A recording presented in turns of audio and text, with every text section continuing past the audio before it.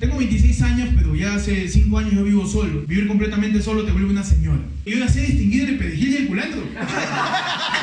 Yo soy una señora, no me dejas de mentir, que es la, colega.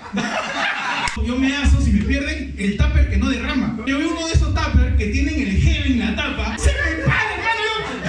No va a derramar ahí. Yo también me fui a un matrimonio y me quería llevar los centros de mesa, no sé por qué. Soy tan señora que ya empecé a hablar con la gente en la cola. Estoy en la cola y no sé por qué. Mi mano la pongo así.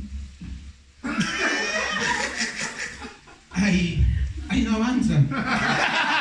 Acá no va a ser vieja, acá. Ay, Dios.